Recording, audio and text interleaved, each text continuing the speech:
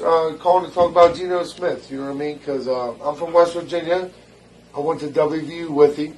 You know what I mean? let, let me ask did, did he have a bad reputation when he was there? Yes, he did, sir. Absolutely, he did. And you know what? I loaned him two hundred dollars, and he never paid me back. Yes, no, are you serious? No, I'm dead serious. I played ball with him. I was offensive lineman. Okay, what, what, what's his, okay, I, I, I make this assumption that, that the, the, the locker, he didn't, he didn't have the locker, the same problem there? Yeah, nobody had his back, man. You know what I mean? He was always, you know, treating, mistreating people. You know what I mean?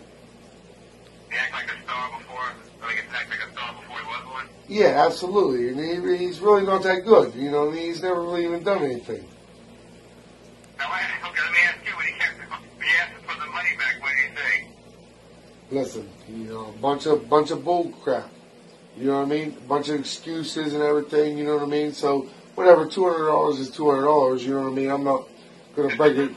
I'm not gonna break his jaw because you already know he's got a glass jaw. You know what I mean? But How uh, long, how long did you play with him? two years.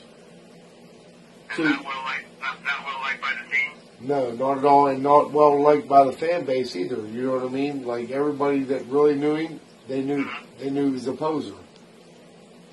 So what was his problem then? He just, You know, he thought he was big time. You know what I mean? Yeah, he thought he was big time. But you know, it's just terrible that, that that really happens to people. You know what I mean? yeah, I mean, look, if he paid the man the money, you know, if he had, if he had paid him the money, nobody would have written about it. No, that's not a story. I mean, them guys wiped their butt with six hundred dollars.